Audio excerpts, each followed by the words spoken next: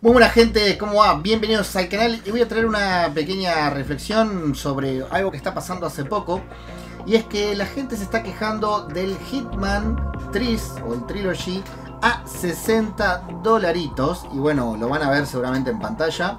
No solamente 60 dólares, sino que en Argentina está como 4 4 o 5 lucas una locura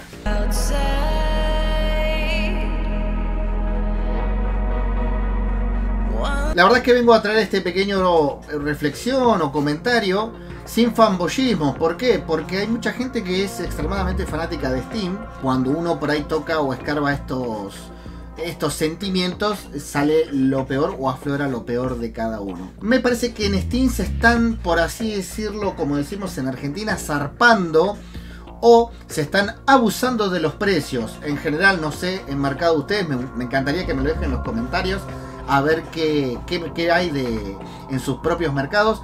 Pero acá Steam está inflando todos los precios. Este video me salió de casualidad porque lo vengo observando en varios títulos. Pasó con No Man's Sky.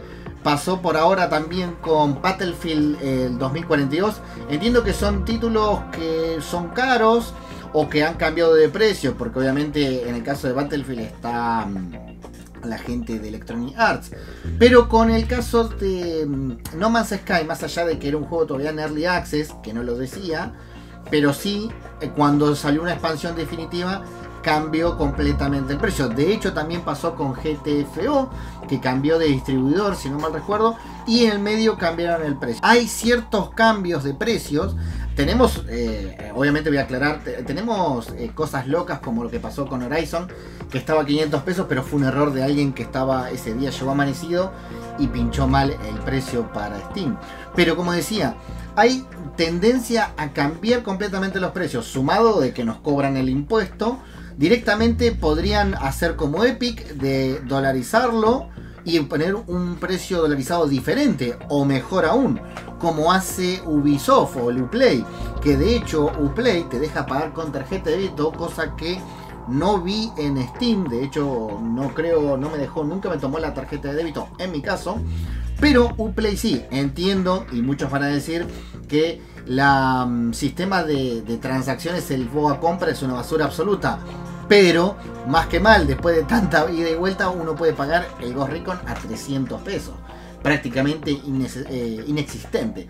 Pero volviendo a lo que decía, eh, hay que ir mirando otras tiendas con buen ojo. Y digo por qué.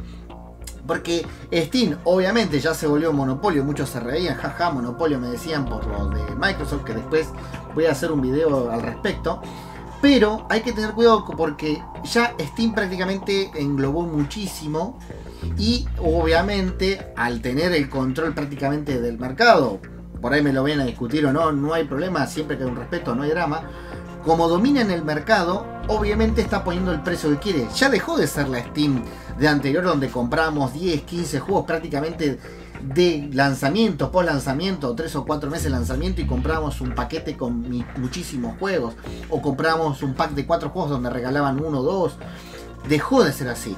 Obviamente uno se va dando ese, se va dando cuenta de esa tendencia. Por eso, desde mi punto de opinión, es eh, viva Epic, viva otras tiendas. ¿Por qué? Porque más que mal, otras tiendas ayudan a bajar el precio a competir. ¿Y por qué digo esto? Hitman 3, que ahora está a 60 dólares y obligó a, Epic, o por lo menos hubo un cambio ahí, que no, obviamente esta información no la tenemos, en Epic de estar de 5, estuvo entre 5 y 10 dólares, pasó a estar también 60 dólares. Es decir, Hitman 3 es incomparable en cualquiera de las dos tiendas. Por eso recomendaría que si tienen Game Pass lo jueguen ahí. Es más, creo que en Game Pass está más barato. Lo mismo pasó hace un tiempo con lo que sería el juego de Ascent, que en Game Pass estaba más barato y en Steam no. Más allá de que decían que era porque tenía ray tracing, se reparó el, ray tracing en The Ascent en Game Pass y sigue estando barato. Entonces, como decía, no se enfrasquen o no se, por así decirlo, sean tan fanboy de una tienda, porque al fin y al cabo el dinero es de ustedes y ustedes son los que mandan con el dinero. Por ende tienen derecho a comprar donde mejor les quede y donde más barato sea. Muchos van a decir, oh, pero vendo cromos, oh, pero caja de... Eso quedará en cada uno. Yo, eh, mi opinión personal es velar por que el juego me salga entre comillas más económico, barato. O como decía, gente, no se dejen embaucar, por así decirlo, busquen alternativas. Eh, busquen alternativas si me dicen serie lugares de case, pero que sean de case eh, obviamente originales y no lugares grises como Kenwin. Em, y traten de buscar lo mejor o el mejor precio.